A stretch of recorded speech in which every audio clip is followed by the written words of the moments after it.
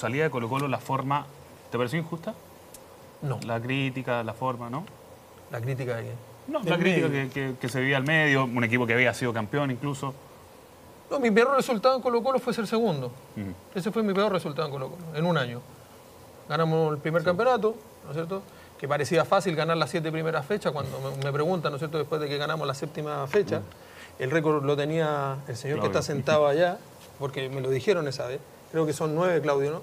No, no, yo no, no me acuerdo. Es que me lo dijeron. No, no, que no. me lo dijeron, creo que son nueve. Estadísticamente no, Ah, ni- creo que- no me acuerdo ni lo que me conviene, un desastre. Bueno, por eso, por eso digo, creo que son nueve eh, y que nadie había, que después de esas nueve, el, la- el mejor arranque había sido esas siete y parecía que, que, que era fácil hacerlo. Salimos campeones ese primer campeonato, el segundo fuimos segundo, perdimos la Copa Chile a penales con la U, ¿no es cierto? Y quizás la, la deuda pendiente, porque en ese momento Independiente del Valle era como que estábamos enfrentando al equipo de amigos del Ecuador.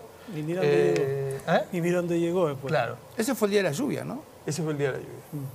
Empatamos nosotros allá, que fue allá en, en en- en Quito.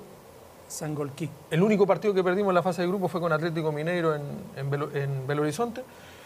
Y quedamos eliminados porque empatamos a cero el día del Monumental, ¿no es cierto? Que era el último partido que teníamos que ganar para poder pasar a la, a la siguiente etapa.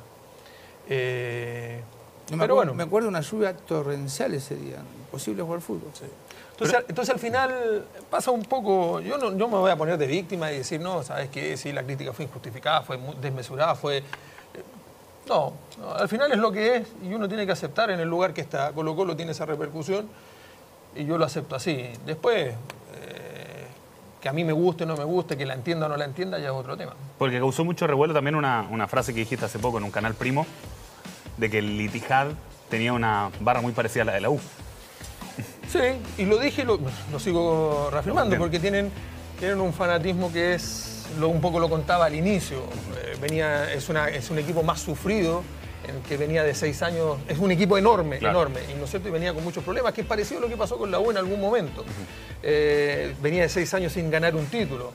Colo Colo no pasan seis años sin ganar un título. Eso no ha pasado, no, no, que yo por lo menos en la historia que yo conozco de Colo Colo no ha pasado. Es una, una hinchada más sufrida y es una hinchada que a pesar de todo ese sufrimiento es muy fiel.